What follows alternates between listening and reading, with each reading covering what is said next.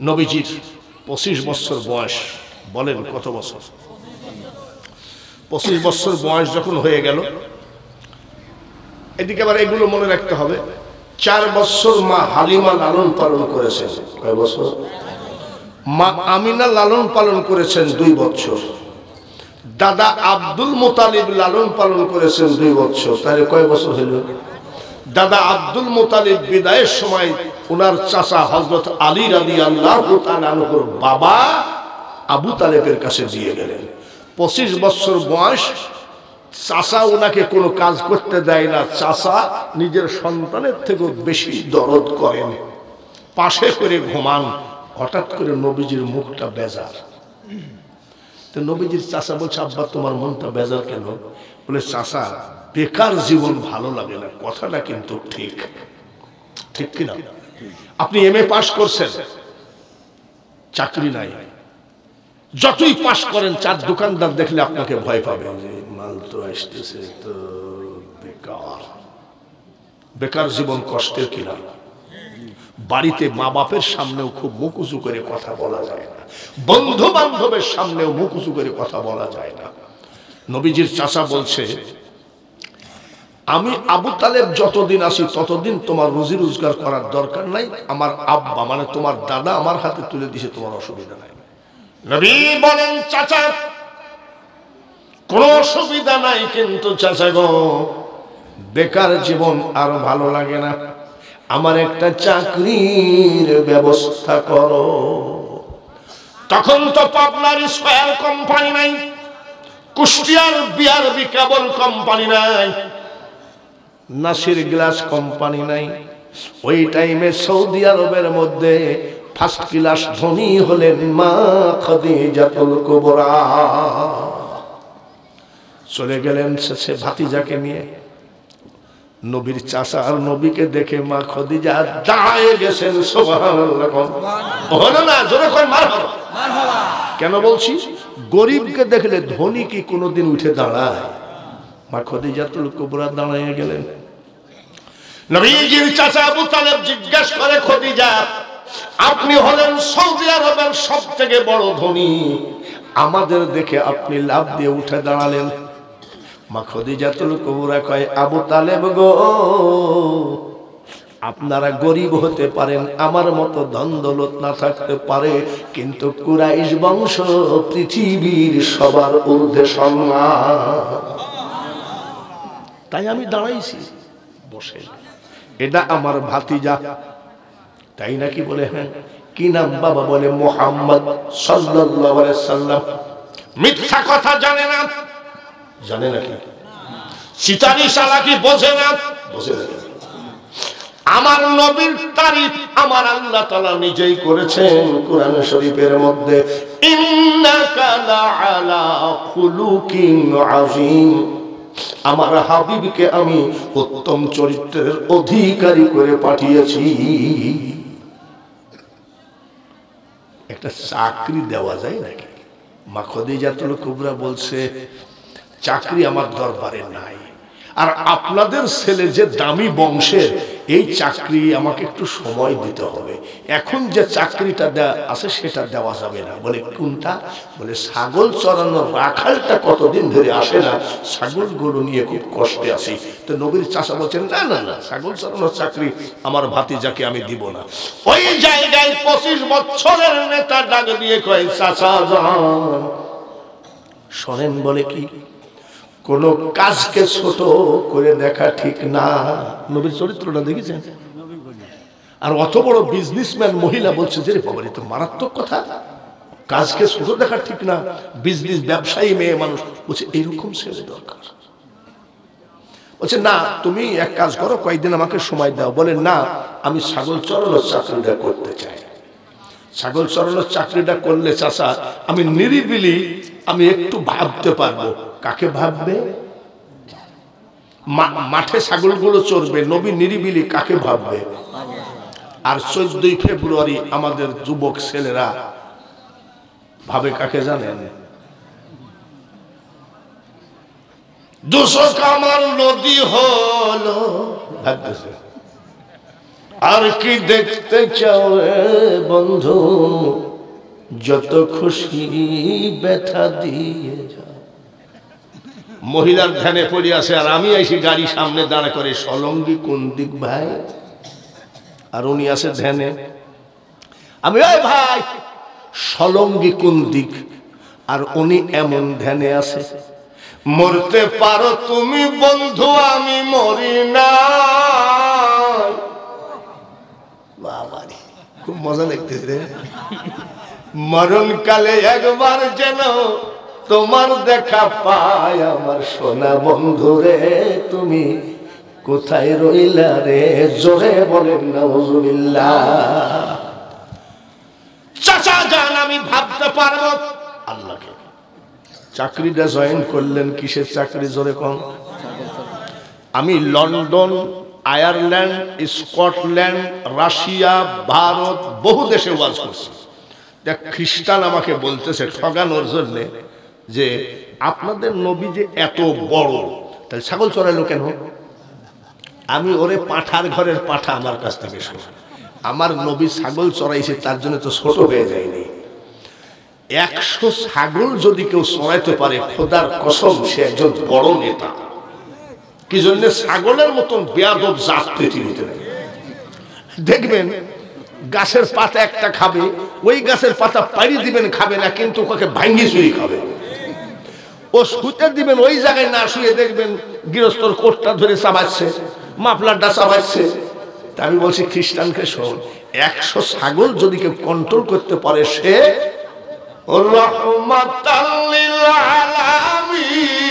মারহাবা তুমি সে এমনি নেতা। ছাগল চড়ানোর চাকরি নিলেন, ছাগলগুলো চড়ে মা খদিজাতুল কুবরার দালানে ঘরে বসে থাকে। দশ দিন না যেতেই ছাগলগুলো চেহারা ভালো হয়ে গেল, হাড়গুলো মাংসে ভরপুর হয়ে গেল লেডিজ সালানের ছাগলগুলোর পালানে দুধ আসলো। কর্মচারী যদি একটু ভালো করে, মালিক তাকে একটু ভালো খাওয়ায় নাকি? আর কর্মচারী যদি সিটারি করে মানে মালিক বলে অসুখনি মরিচ দিন। এরকম বলে না? কিরে? এত তাড়াতাড়ি ছাগলগুলো পরিবর্তন। তাহলে আগের রাখালটা এত সিটার? আসলে কুরাইশ বংশ কোনো সিটারি করতে জানে না। যতই খাওয়া এত তাড়াতাড়ি কি করে এত ছাগলের চেহারা ভালো হয়? একটু না শখ হয়েছে দালানের সাদে উঠে দেখতে। দালানের সাদে উঠে তাকায় দেখে ছাগলগুলো নিজেই চলে বেড়ায়। সোহান আল্লাহ দরদি ওমা আরসালনাকা ইল্লা রহমাতাল লিল আলামিন নবীজি। পাহাড়ের সাথে পিঠটা লাগায় ঘুম ঘুমাই আসে, দুইটা বড় সাপ এসে ফনা দিয়ে বাতাস দেয়। ফনা দিয়ে নবীকে কি দেয়? আর আমাদেরকে কি দেয়? তাহলে যে তুমি যে বলো মোহাম্মদ আমিও তাই হয় নাকি পাগল কোথাকার? মা খদিজাতুল কুবরা দশ বারো জন লোক পাঠাইছে যাই দেখো কুরাইশ বংশের ছেলেটাকে সাপে কামড়ায় খাইলো। যাই নবীজি ঘুমায় আছে, এ মোহাম্মদ, তোমাকে সাপে কামড়াইছে নাকি? বলে, এখানে ঝড় নাই জঙ্গল নাই, সাপ কোথায় পাবে?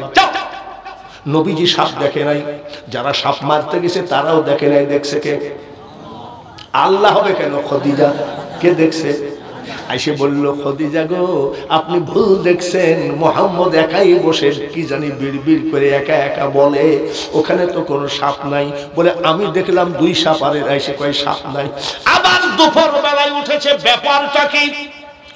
দুপুর বেলায় উঠে দেখে রাখাল বাবাজি হেঁটে বেড়ায়। আমার আল্লাহ তালা এক টুকরা মেঘকে বলে দিয়েছে, মেঘ রে, সৌদি আরবের মাটি যদি ফেটে চৌচির হয়ে যায়, আর রৌদ্রের তেজ যেন আমার হাবিবের গায়ে না লাগে। যেই জায়গায় যায়, সাতার মতো মেঘটা পিছে পিছে যায়। ব্যাপার কি? শুধু হলো ব্যাপার কি, সাপ দেখলাম দুইটা, আসলেই সাপ নাই। মেঘে, মেঘ সব জায়গায়, রৌদ্র ওনার গায়ে ছায়া পড়ে। আবার বিকাল বেলায় উঠেছে সত্তর বাহাত্তর হাত দড়ি ছাড়া, বালতি দিয়ে মরুভূমির কুয়ার পানি উঠানো যায় না। আমার নবী কোনো দড়ি লাগাই নাই, বালতি নামায় দেয়। আমার নবীর সম্মানে গভীর কুয়ার পানি উঠে বালতি ভরে যায়। আমাদের দেশের মেয়েরা যেমন ইস্টার জলসা সম্পর্কে পারদর্শী, জি বাংলার হাফেজ, কবে কোন সিরিয়াল আছে মেয়েরা জানে কি জানে না? আর মা খদিজাতুল কুবরা হলেন তৌরাত জবুর ইঞ্জিল কিতাবের পারদর্শী। তৌরাত জবুর ইঞ্জিল কিতাব পড়েছেন। এমন একটা জামানা আসবে, আখে তার চাল চলন হবে এমন কথাবার্তা হবে এমন, হাঁটা হবে এমন, চুল হবে এমন, ভুরু হবে এমন, মা কুবরা সবগুলো মিলায়ে দেখে এটা সাধারণ মানুষ নয়, এটা আখিরি পৈগম্বর কমিটি সমিতি, চেয়ারম্যান, মেম্বার ম্যানেজার সবাইকে ডাকলেন উঠে বলছে, এত তো ডাকে না, মনে হয় বেতন বাড়াবে বলে। কেন ডেকেছেন? বলে, আমার ডাকার একমাত্র কারণ, আমার সকল ব্যবসায়ের ম্যানেজার ওই ছাগল চড়ানোর রাখালকে বানায় দিলাম। বলছে, উনি যদি ম্যানেজার হয়, তাহলে আমরা কি করব? বল তোদের তো চাকরি নেই। হাট বলে আমরা ওকে মানি না। বলে তুই না মানলেও আমার যায় আসে না। হ্যাঁ এটা আমার ব্যবসার দরকার নেই তার কারণ আসল মাল পাইয়ে গেছি। যত বড় হও না রে মানুষ তুমি রাজা জমিদার।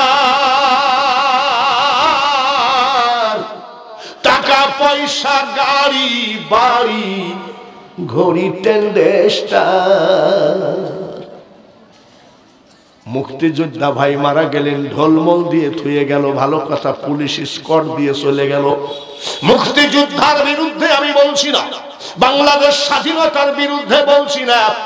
এইবার মন্ত্রী যখন মারা গেল, পুলিশ এসে কয় এস স্যার চলে গেল, তারপরে শুরু হলো, এমন আজাব দিবে রে ভাই, ওই কবরের ওই মাটিতে আর গলা পেটে পড়বে রক্ত গো ভাই, চিৎকারের ওই চোটেতে চলে বলেন, ঠিক কিনা তাই বলতেছি, যত বড় হও না রে মানুষ তুমি, রাজা জমিদার,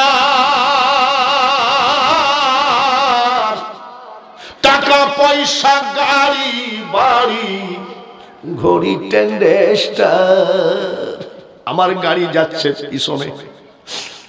যে কি বলে? অ্যাক্সিডেন্ট করে মারা গেলে কি জানি করে? পুষ ম্যাডাম নাকি?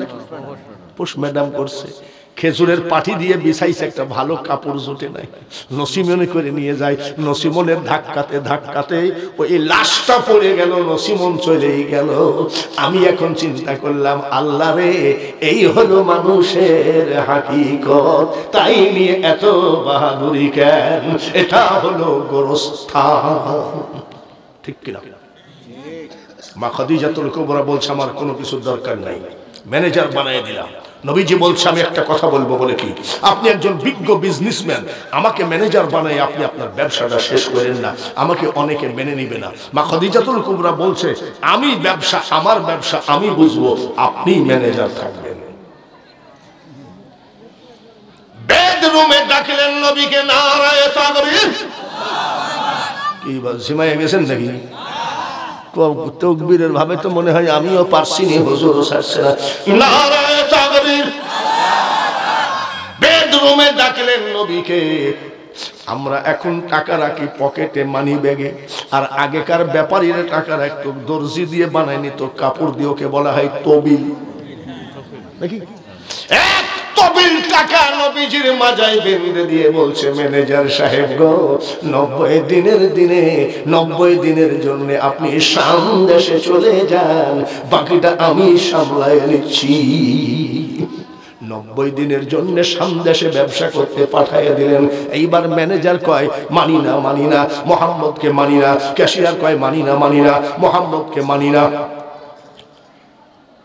মোহাম্মদকে মানাই লাগবে, জোরে বলেন ঠিক কিনা? কয়েকদিন পর ম্যানেজারের ঘরে ভাত নাই, ওর বউ কয়, কি ব্যাপার, কাজে যাও না কেন?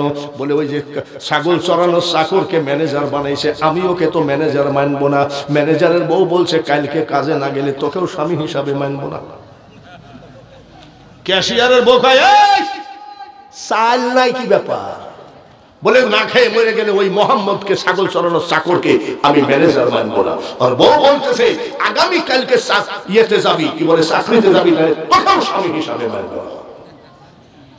যখন বাংলার মানুষ নয়, শুধু পৃথিবীর মাটিতে আমার নবীকে অপমান করবা, তখন দেখবা ঘরে বাইরে আগুন জ্বলে যাবে, এই আগুন মিটানোর কবিরাজ পৃথিবীতে না এইবার সবাই এসে বলছে, আমাদের চাকরিটা ফেরত দেন। মা খদিজাতুল কুবরা বলছেন, তোমরা যে আসবা তা জানি, এখানে সিগনেচার করো। বলে, কি লিখেছেন? বলে, এই মর্মে, তোমাদের অবগতির জন্য জানানো যাচ্ছে যে ছাগল চড়ানোর চাকর কুরাইশ বংশের ছেলে, আবদুল্লাহর ছেলে মোহাম্মদ আমাদের নতুন ম্যানেজার, এই ম্যানেজারকে মেনে নিতে হবে। যদি মেনে না নেও, যদি সমালোচনা করে চাকরি চলে যাবে, মরুভূমির মাটিতে যদি একাও মোহাম্মদের বিরুদ্ধে বলো, চারিদিকে আমার গোয়েন্দা, সিআইডি, ডিআইবি আছে। যদি কেউ শুনে, চাকরি তো যাবে আবার যত বছর চাকরি করেছি, সব বেতন দিয়ে যাওয়া লাগবে এমন করে সাইজ করেছে, আর মুখ দিয়ার মোহাম্মদের বিরুদ্ধে বলার কিছু কয়দিনের জন্য পাঠাইছে জোরে কোন নব্বই। দিনের দিনে সাদে উঠছে দাস দাসী নিয়ে। দাস দাসী মোহাম্মদ কেমন? সুভান হাসি কেমন? সুভান বংশ কেমন? সুভান চেহারা কেমন? খালি দাস দাসীর কাছে ওই একই কথা, মোহাম্মদ আর মোহাম্মদ। মা খদিজাতুল নবীর প্রেমে দেওয়ানা জোরে বলেন মার হাবা ডান দাসীকে ডাক দিয়ে বলে, দাসীরা রে। আজকে যদি আমাদের মোহাম্মদ আসে সুবাহ তোদের পেট ভরে মিষ্টি খাওয়াবো। দাস দাসীরা কয়, বহুদিন মিষ্টি খাই নাই, যদি আমাদের ম্যানেজার বাবাজি আসতো, মিষ্টি খাতাম। বলতে বলতে মা খদিজা বলছে, টাকা নিয়ে মিষ্টি নিয়ে আয়। দাস দাসী বলছে, আগে আসুক। বলে, আসতেছে।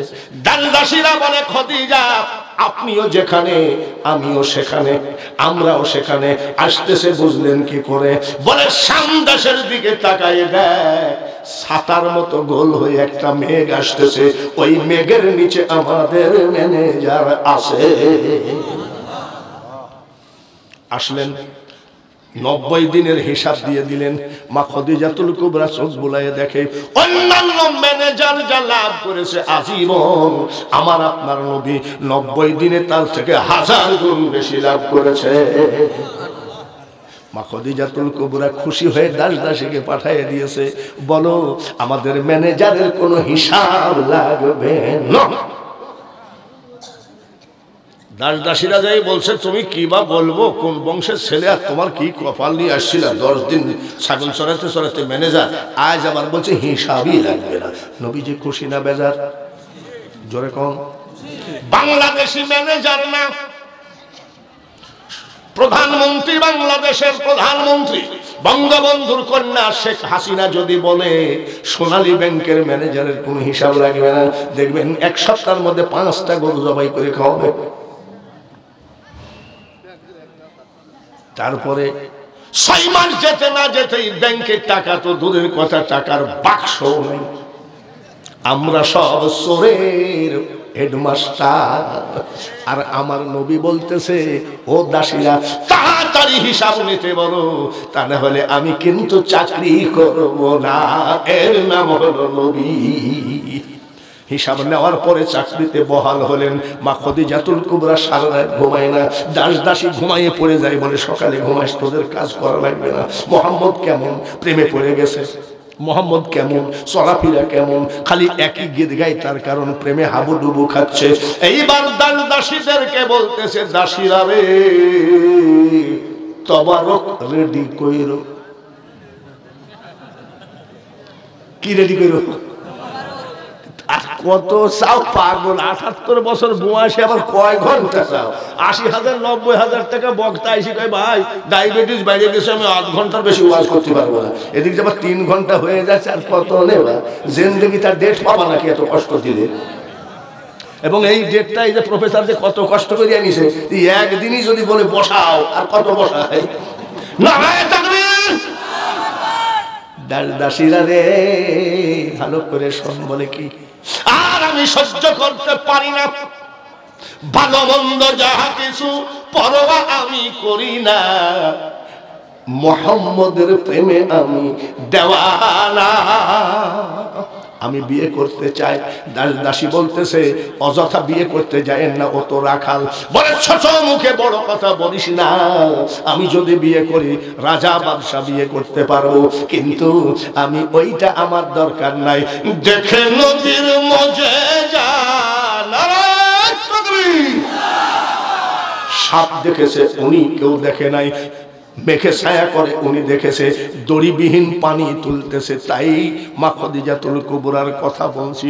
দেখে নদীর মজে যা, ভাগ্যবতী মা খদিজা, জীবন যৌবন করিলে নরপণ দয়ার নবী, নূরের নবী গো, তুমি নবী আমার জীবনের জীবন। আমি বক্তা হলেও একটা মানব জীবন তো বটেই। জোরে বলেন ঠিক কিনা।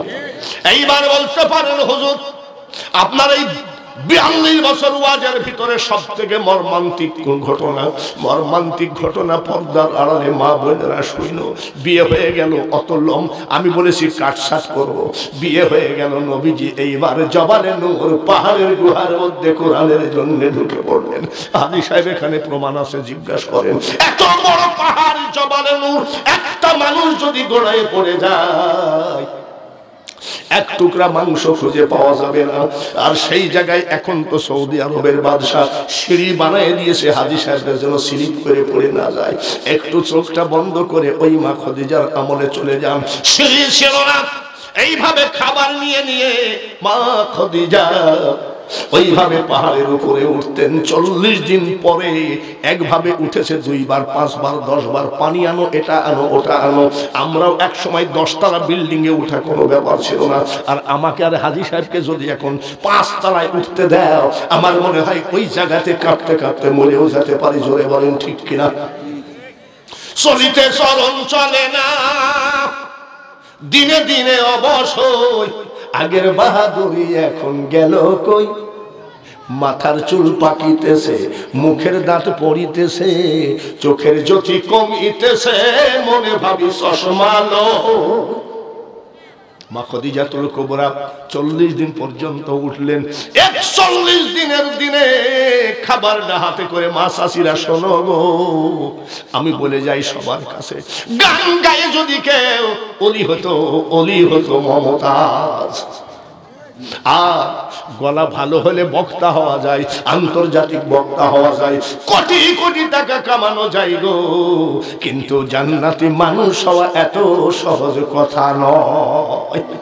মা খদিজাতুল কুবরা এইভাবে খাবার না নিয়ে উঠে হাঁপায় হাঁপায়। আমার খদিজা যে পাগল হয়ে গেছে, কোরআনের জন্য আমার খদিজা যে কষ্ট করে উঠতে পারে না তারপরে উঠে, উঠতে পারে না তারপরে উঠে। জিবরাইল রে! আমি আল্লাহ খুশি হয়ে আমি খদিজাকে সালাম দিয়ে দিলাম। আরও চিৎকার করে কান্দে, বলে, কান্দতেছো কেন? বলে, নবী গো, কাঁদছি তার কারণ আমি খদিজা বড় মূর্খ মানুষ। আল্লাহর সালামের জবাব কীভাবে দেব আমি বুঝতেছি না। বলে আর একটা খবর আছে। বলে, কি? জিব্রাইল ফেরেশতা বলে গেছে, ইয়া রাসূলুল্লাহ, ইয়া হাবিবাল্লাহ নবী গো। আল্লাহ যদি খদিজাকে সালাম দেয়, আমি জিব্রাইল কেন দেব না? আমি জিব্রাইল কেন দেব না? আমি জিব্রাইলের সালামটাও দিয়ে দিলাম। পর্দার আড়ালে মা বলে রাখো যত রাত হোক দিনের দাওয়াত দিতে এসে জিজ্ঞাসা করে, ও খদিজা, আপনি খাইছেন? তুমি খাইছো? খদিজা কান্দে বলে, কান্দ কেন? হুজুর, আপনি কি করে বুঝলেন? সারা রাত কলেমার দাওয়াত দিয়ে বেড়ান, আর আমি কি করে খাই? আপনি খাবারে হাত না দিলে আমি খদিজা খাবার খায় না। আর আমাদেরগুলো দিনের দাওয়াত দিতে আসিছি। বাড়ি যাই দেখি এক বালতি গিলে ঘুমাই রয়েছে। ইয়ার বলব দুঃখের কথা। ঘুমাই রয়েছে? হজরত মা ফাতিমার জীবন ভর নবীকে হজরত আলীকে অজু বানিয়ে দিয়েছে। বুকে হাত দিয়ে বলেন, আপনার বউরা কোনোদিন আপনাকে অজু বানিয়ে দিয়েছে জোরে বাড়ি যাই অজুর পানি চাইয়ে দেখেন বলবে তুমি কি ন্যাংরা হয়ে গেছো নাকি? এবার মা শাশিরা মনে করবে, ফুসলাই ফাসলাই টাকা পয়সাগুলো নিয়েছে, এইবার আমাদের আমাদের বিরুদ্ধে গীত গাচ্ছে। না মা, তোমার যাতে ভালো হয় সেই কাজ করছি, ভালো করে শুনে দেখো। যারা ইমামতি করে তাদেরকে বলো, সৈয়দাতুন আহালিল জান্না জান্নাতের সরদানির তিনি হলেন মা ফাতিমা, জোরে কনমার হাবা সেজদাই পড়ে কানতেছে। মামুদ জানলা দরজা বন্ধ। ইমাম হাসান হুসাইন জানলার সাথে কান পাতা হযরত আলী দরজার সাথে কান পাতা ইমাম হাসান হুসাইন বলছে, আব্বা, দেখো তো আম্মা কি বলে কানতেছে। মা ফাতিমা সেজদাই করে কানতেছে, মা গো, আমি তোমার হাবিবের মেয়ে। আমাকে মাত্র চারজন লোক দেখেছে। আমার স্বামী হাসান হুসাইন আর আমার আব্বা। আমার ভগ্নিপতি উসমান গনিও আমাকে জীবনে দেখে নাই। এর নাম হলো পর্দা। আর আমাদের থেকে, আমাদের দেশে বোর থেকে শালীর সাথে পীড়িত মেলা। আর হজরত মা ফাতিমা বলছে জীবন আমার ভগ্নিপতি, চোখে দেখে নাই। মা গো, আজ আমার আজরাইল আসবে। আমাকে শুধু আমার স্বামী টাচ করেছে, পৃথিবীর কোনো মানুষ টাচ করে নাই। আজরাইল যে আমার বুকে হাত দেবে, আমি যে বেপরদা হয়ে যাচ্ছি, আমি ফাতিমা আমার বুকে হাত আমি দিতে দিব না।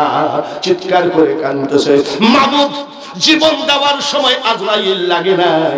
জীবন নেওয়ার সময় কেন আজরাইল লাগবে? তুমি নিজে এসে আমাকে নিয়ে যাও। আমি কোনোদিন তোমার আজরাইলকে আমি বুকে হাত দিতে দেব না। মা ফাতেমা যদি বলে, আমার বুকে আজরাইলকে হাত দিতে দেব না, এইটাই যদি ওয়াজ হয় মাগো, জান্নাতের যিনি সরদারিনী, আপনি যখন পুরুষ দর্জি দিয়ে ব্লাউজ বানান, যখন জামা বানান, পুরুষ দর্জিরা তো ফিতা দিয়ে আচ্ছা মা পা মাপে এমন আজাব দিবে মাগো। ওই কবরের ওই মাটিতে আর গলা ফেটে পড়বে রক্ত গো মা। চিৎকারের ওই চোটেতে অনেক কথা হয়ে গেল। রাত কিন্তু একটা পার হয়ে গেছে বাবাজি। আপনাদের মুখের দিকে তাকায়ে, আপনাদের কষ্টের দিকে তাকায় এক সাজ এনে দিচ্ছে। এই চার দোকানদার বলে, আমার নাকি পাগল। কিছু ছেলেরা ছবি তুলে নেয় তারা নাকি আমার পাগল। ইন্টারনেটে শুধু আমার ওয়াজ শোনে, চার দোকানে বড় টেলিভিশনে আমার ওয়াজ বাজায়। এই প্রেমের দিকে তাকায়, বাবাজি, আমি ওয়াজেও কৃপণতা করি নাই, আবার এই গোরস্থানের কালেকশনেও কৃপণতা করি নাই। এইবার আমরা তবারক নিব। তবারক নেওয়ার সময় একটু একটু না ঝামেলা হয়, ঠিক কিনা? আমার বাড়িতে একটা জালসা হয়, চৈত্র মাসের আট তারিখে, লাখ লাখ লোক। তা আমি একজনকে বলছি, ভাই, এরকম করছি চাষা জালসা কেমন হইল? স্বাদ কত? আরে, আমি ওকে জিজ্ঞেস করছি, জালসা কেমন হইল? আর ও কি কয়? তাহলে আমরা কেউ তবারকের পাগল আছি, জোরে বলেন, ঠিক কিনা? যে তবারক নিয়ে যদি ঝামেলা হয়, আশেপাশে যদি হিন্দু পাড়া থাকে, তো বলবে, জাতি খারাপ, ঠিক কিনা? একটু আমরা দায় নবীকে সালাম দিব, আর লাইনটা করে দিব যাতে তবারকে বদনাম